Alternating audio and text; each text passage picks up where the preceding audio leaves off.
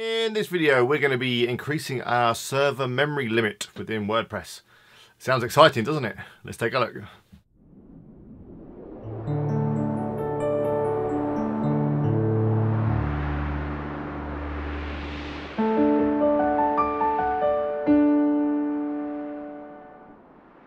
Hello, it's Alex here from WP Eagle. The reason I'm creating this video is I've been asked many a times how to increase the server memory limit uh, within WordPress. You might need to do this if you're running a plugin like WooCommerce or WooZone. Uh, sometimes these plugins, they put up a message that looks, uh, well, looks a bit like this, where it says your memory is currently 40 meg or something and it needs to be increased. So in this video, I'm going to show you how to increase that memory limit and um, yeah, sort that problem out. So let's get on a computer and take a look. So as I just showed you, this is probably the message that you're getting or something similar. It says your memory is uh, currently 40 meg or whatever and it needs to be higher. So uh, well, let's sort that out right now. In order to do this, you're going to need a couple of things. The first is you're going to need access to your um, hosting control panel thing.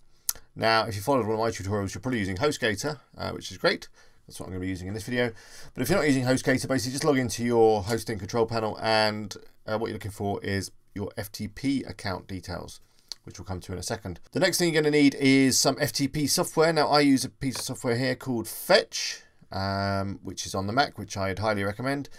Uh, I think if you're on a PC, let me just have a look on Google. I think there's one called WinFTP, or is it Win? It's WinSCP. I always get this wrong. WinSCP.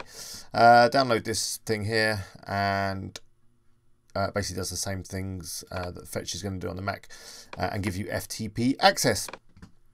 Okay, so when you're in your hosting control panel, as I said, you're going to need your FTP details. And within HostGator, you find that within files and folders and FTP accounts. Now, generally, it's going to be the same um, login that you use to access HostGator. But you can come in here and just check. So the one I'm going to be using is alex at zombiemerc.com. Uh, here's the server information I need. We're going to need that in a second. And you're going to need the password, which I say is probably the same as the one you set up when you created your HostGating HostGating when you created your hosting account. Um, but if you can't remember what it is, you can always just go in and, uh, and change it so that you know what it is. okay. So I've got my FTP software. Let's say if you're on a Mac, use Fetch. If you're on a PC, use WinSCP. And it's going to ask you for some information, which we can find from here. So the host name is the server. Hostname server, same thing. paste that in there. The username is here. Password you're going to need to type in, or I don't need to, it's remembered, but yeah, put your password in there. and that's about it. Then click connect. Uh, it takes you in here. Basically, what we're looking at here are all the folders and files that are on our hosting, uh, which make up our website. You want to go into a folder called public underscore HTML. If you can't see that, it might be because you're already in it. If you can see this sort of stuff, WP uh, folders and WP files, then you're in the right place. What we're looking for is a folder, sorry, a file called uh, wp-config. Here it is. Now with Fetch you can kind of edit stuff on the fly, but uh, for this example I'm going to show you how to do it kind of manually. What you're going to do is take a copy of that file and put it onto your computer. So let me just find my documents folder. And I'm just going to drag it.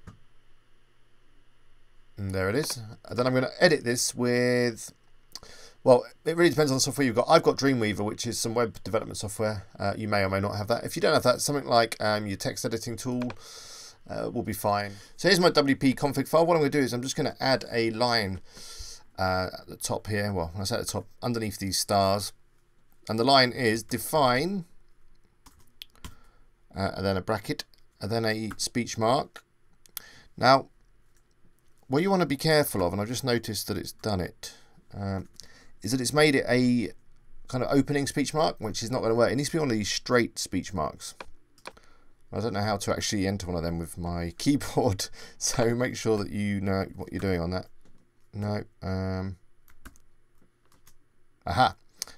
There we go. If I use the control key, it's kept it a straight one.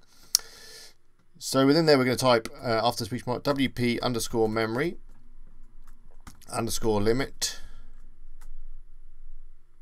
underscore, no, no more underscores. Uh, another speech mark, again, make sure that it's a straight one.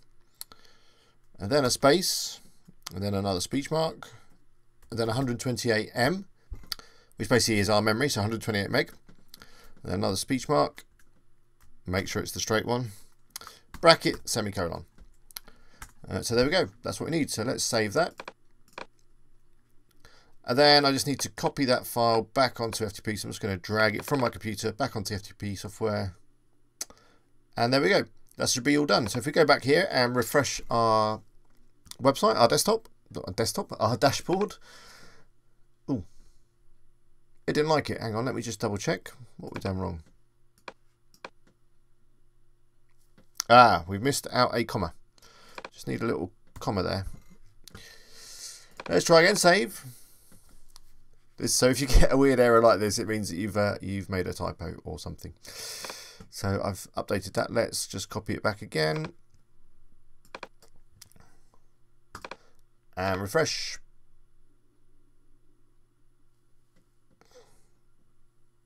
Ah, we can see that again, I've not got the straight speech marks, which I just said you need to make sure that you've got. Like that. There we go. Third time's a charm, as they say. Let's copy it back. And refresh. And there we go. Phew, that was that was harder than it needed to be. But as you can see, that memory message has gone. Thanks for watching. I hope you found this video useful. If you've got any questions, then leave them in the comments below. Uh, if you like what I'm doing, please click the like button. Um, but until next time, uh, bye for now.